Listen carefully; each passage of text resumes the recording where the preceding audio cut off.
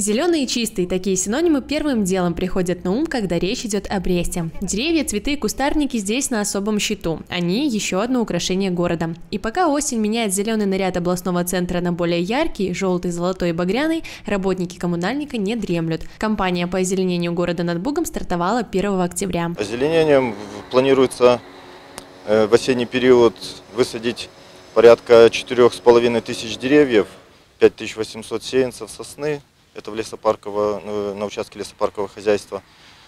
Вот. Ну, в данный момент еще занимаемся уборкой опавшей листвы, которая сейчас обильно падает. Ну, согласно действующего законодательства, осенний период для посадок это октябрь-ноябрь. До 1 декабря мы должны выполнить все, э, согласно заключенных договоров, выполнить все посадки. В основном в областном центре высаживаются устойчивые к городским условиям породы деревьев, среди которых липы, клены, березы и рябины. Что касается кустарников, то здесь преобладают форзиция, спирей, можжевельник, барбарис и жасмин. Ассортимент для оформления объектов озеленения стандартный, но качественный. Мы также осуществляем посадки на, в рамках объектов капитального строительства. Сейчас эти работы активно ведутся согласно планам озеленения.